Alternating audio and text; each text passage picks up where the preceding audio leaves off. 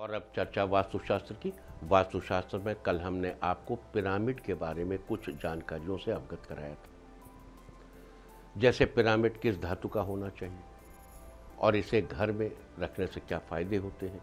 आज हम आपको पिरामिड के ज़रिए कुछ वास्तु दोषों से छुटकारा पाने के बारे में बता रहे हैं। यदि आपके घर के भूखंड की भुजाएँ मुख्य दिशाओं के समानांतर नहीं है तो ऐसे भूखंड को दिक दोष वाला भूखंड कहा जाता है। दिक दोष के अलावा अगर आपके भूखंड में आकार संबंधी कोई दोष है तो इस भूखंड के मध्य में नौ, छत्तीस, चौवन या इक्यासी पिरामिड भूखंड के आकार के हिसाब से दबवाइए।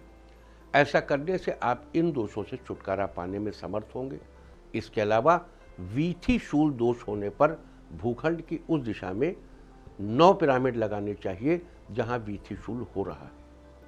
यदि भूखंड के समीप से निकले निकलने वाले मार्ग भूखंड पर एक तीर की तरह आकृति बनाते हैं तो ये वीथीशूल दोष कहलाता है।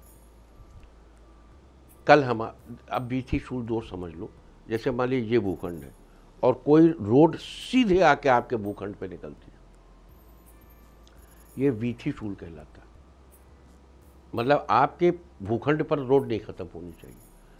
तो कल हम चर्चा करेंगे कि पिरामिड को किस दिशा में रखना अच्छा होता है या घर की किस जगह को पिरामिड की आकृति में बनवा सकते हैं। इंडिया टीवी, हर वक्त, हर जगह। डाउनलोड करने के लिए सर्च करें India TV news, Google Play Store या एप स्टोर पर।